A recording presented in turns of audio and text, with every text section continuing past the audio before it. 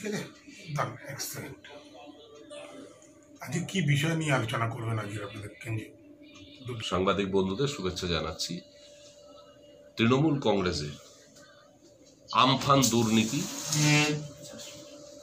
একটি অমানবিক দুর্নীতি।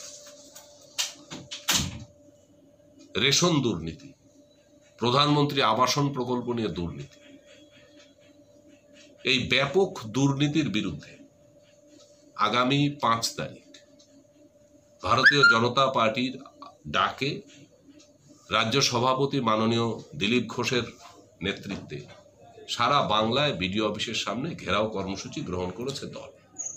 আজকের এই প্রেস, সে বিষয়ে আজকের প্রেস মিট আমাদের মাঝে রয়েছে লোকসভার জনপ্রিয় সাংসদ মাননীয় জগন্নাথ সরকার মহাশয় এবং এই ঘেরাও কর্মসূচি রাজ্যের তরফ থেকে আমাদের জেলায় যাকে দায়িত্ব দিয়ে পাঠিয়েছেন আমাদের বরিষ্ঠ নেতৃত্ব মহাদেব বসাক মহাশয়।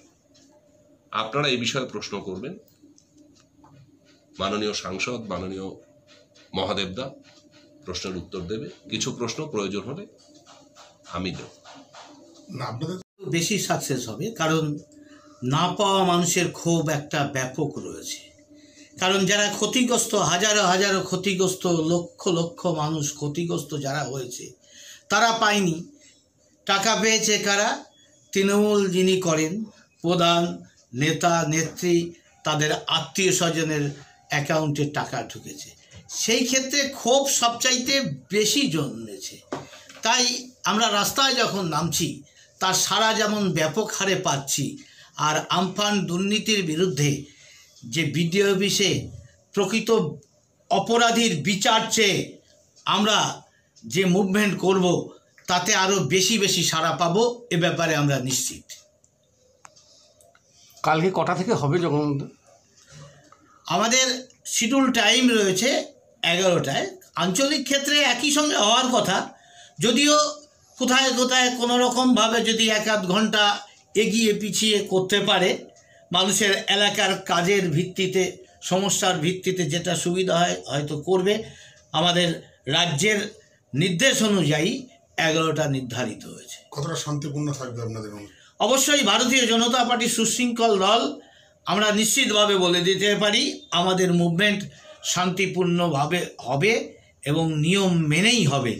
তার সঙ্গে বিভিন্ন ক্ষেত্রে আমরা দেখেছি উস্কে দিয়ে সাইড থেকে তৃণমূলের পক্ষ থেকে ইট ছুঁড়ে পুলিশ থাকলে পুলিশের গায়ে ইট মেরে দিয়ে তার দায়ভার ভারতীয় জনতা পার্টির ওপর চাপানোর একটা অপচেষ্টা আছেই। তাই এরকম বিক্ষিপ্তভাবে যাতে এরকম ঘটনা না ঘটে, আমি দলীয় কর্মীদের সতর্ক থাকতে বলব সদা, যাতে উদরপিণ্ডি বুদর ঘরে চাপিয়ে দিয়ে ভারতীয় জনতা পার্টির বদনাম না করা হয়। লোকরানকে ফেলে দেওয়া হলো, পুলিশ অত্যাচারে যোগী রাজ্যে। কি বলবেন আপনি? দেখুন, ব্যাপারটা এদের মুভমেন্টটাই অনৈতিক। কখন মুভমেন্টের প্রয়োজন হয়? যখন দেখা যায় একটা অন্যায় ঘটেছে, সেই অন্যায়ের বিচার হচ্ছে না, বিচার প্রক্রিয়া কিছু করা হচ্ছে না, অপরাধীকে পাশ কাটানো হচ্ছে, এরকম ক্ষেত্রে যদি মুভমেন্ট করা যায়, সেটা নৈতিক হতে পারে। এরা এক রাজ্যের থেকে অন্য রাজ্যে যাচ্ছে, তার রাজ্যেরও বিষয় নয়, সেখানে গিয়ে অশান্তি করার একটা অপচেষ্টা হচ্ছে। তার জন্য পুলিশ আইন শৃঙ্খলা রক্ষা করার জন্য যেটুকু করেছে, তারা বাড়াবাড়ি করেছে, গায়ের জোর খাটিয়ে গেছে ধাক্কাধাক্কিতে কেউ পড়ে যেতে পারে, এটা স্বাভাবিক নিয়ম। তাই ওখানে যাওয়ার কোনো প্রয়োজন নেই। তৃণমূল যেমন, তার রাজত্বে শয়ে শয়ে ধর্ষণ হচ্ছে, মহিলা নির্যাতিত হচ্ছে, খুন হচ্ছে, তার বিচার পাচ্ছে না। আর মমতা ব্যানার্জি হাতরসে যাওয়ার জন্য তিনি মিছিল করছে। এটা লজ্জাজনক ঘটনা। তাই পুলিশ শান্তি রক্ষার জন্য এলাকার তার বাধা সৃষ্টি করতেই পারে। হাতরাসে যে ঘটনা হয়েছে জগন্নাথ আপনার নিজের বিবেকের দিক থেকে কি মনে হচ্ছে? দেখুন নিন্দনীয় ঘটনা। এবং আমাদের ভারতীয় জনতা পার্টির সুশাসন আছে যেখানেই ভারতীয় জনতা পার্টি আছে সেখানে সুশাসন আছে। যোগীজি পরিষ্কার বলেছেন অপরাধীকে এমন শাস্তি দেবো ভারতবর্ষে নয় পৃথিবীর মধ্যে দৃষ্টান্ত স্বরূপ শাস্তি দেব। এতটা কথার পরও বিরোধী- বিরোধীরা শুধু রাজনীতি করার জন্য হুজ্জুতি করার জন্য বিজেপির বদনাম করার জন্য এগুলো করছে।